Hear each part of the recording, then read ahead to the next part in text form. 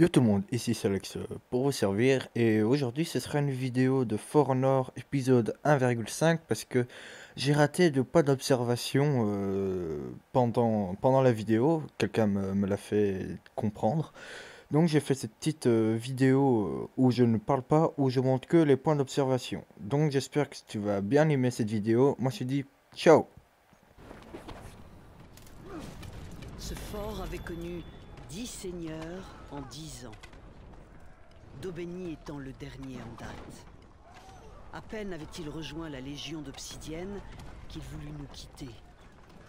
Nous ne pouvions laisser cela impuni.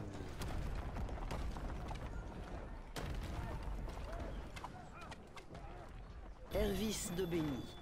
Obsidien l'espace d'une saison. Puis il a osé nous tourner le dos, nous spolier il a signé là son arrêt de mort.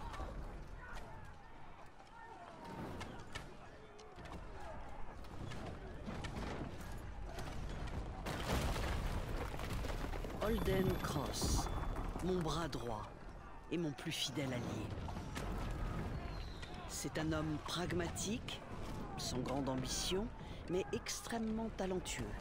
Nous avons de la chance de l'avoir.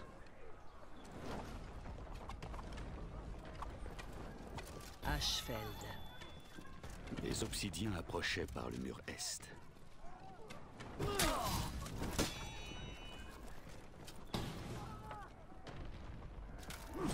La guerre est en grande partie affaire de remparts, de portes, de collines.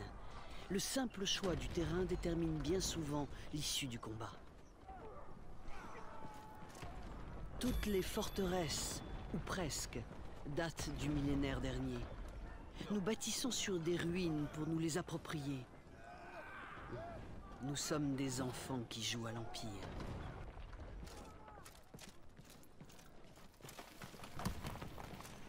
La chute du dernier sanctuaire d'Ashfeld. Mille ans ont passé depuis. Six années durant, nos ancêtres ont repoussé cent mille guerriers affamés et perdus. Du moins, c'est ce qu'on raconte. La Légion de Fer est composée de légions plus modestes. L'une d'elles, la Royale, avait pour symbole le lion. Jadis puissante, elle s'est soumise à l'obsidienne. La Légion de Fer a coutume d'installer des statues de sentinelles devant les portes. Quelle hypocrisie L'allégeance d'une sentinelle et sans comparaison avec celle d'une vulgaire basse légion. Dès que nous cessons de lui tenir tête, la nature reprend ses droits. Il en va ainsi de la pierre, des plantes, des animaux, et plus que tout, des hommes. Les guerriers voient rarement l'effet des guerres sur le peuple. Les réfugiés, les morts, les affamés. J'ai vu tout cela quand j'étais plus jeune. Je n'ai jamais oublié.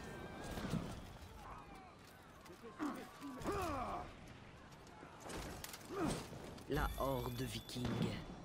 L'éruption du mont Runge a noirci leur ciel pendant des mois, détruit leur culture, tué leur bétail.